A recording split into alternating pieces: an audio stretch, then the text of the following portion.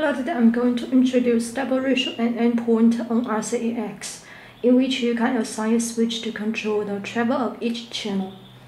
When you gently move the wheel or trigger, but there is a big travel of the servos, you can set double ratio or endpoint.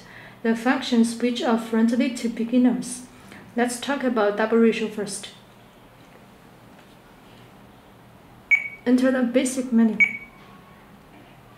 Double ratio there is ratio switch, which means you can assign a switch to control it. If it is now, the travel of each channel will keep the current values, and I select PS3. The switch here.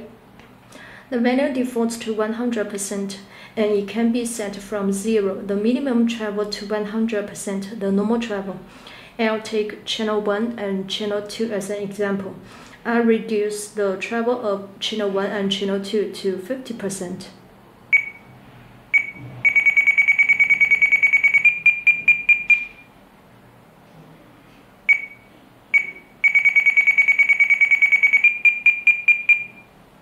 Now the setting is done, let's have a check.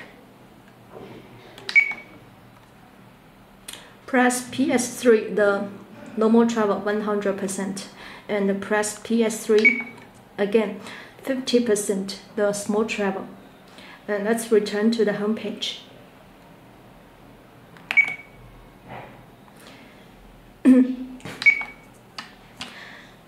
can move the wheel or trigger. 100% and uh, now let's press PS3 again turn the wheel and the trigger we can see it is 50% travel. We can also set endpoint to adjust the travel of each channel. Basic menu.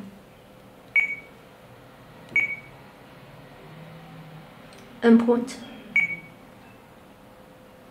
What's the difference of endpoint and double ratio? For double ratio, there is only one value for each channel so the travel on both sides of each channel will be adjusted simultaneously, and the travel can only be reduced.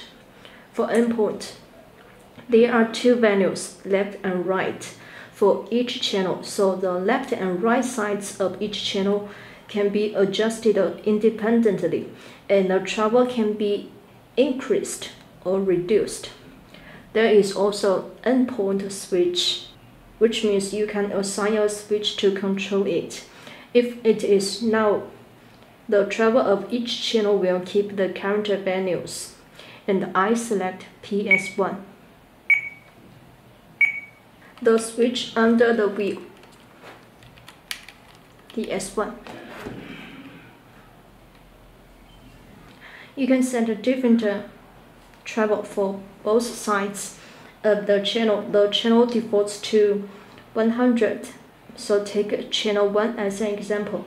I set the left side 50.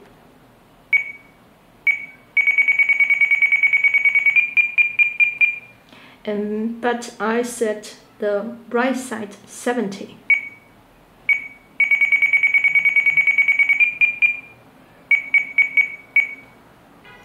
Press PS1 Steering range 100, the normal travel, and press PS1 again.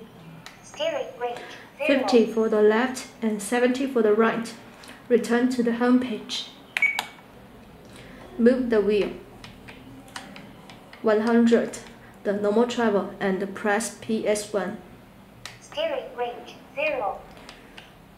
It is 50 for the left and the 70 for the right for channel 1. So let's see the introduction of double ratio and endpoint of RC8X. You can adjust the travel according to your needs.